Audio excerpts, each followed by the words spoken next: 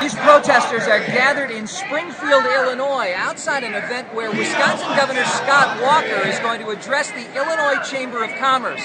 A crowd expected to be more than a thousand has shown up to protest not only Walker, but also to send a message, they say, to Illinois politicians that they want to be able to continue to maintain collective bargaining rights for unions in this state. And they say they don't want Wisconsin's kind of politics here in Illinois. I'm Kent Wainscott. We'll have full coverage for you on 12 News.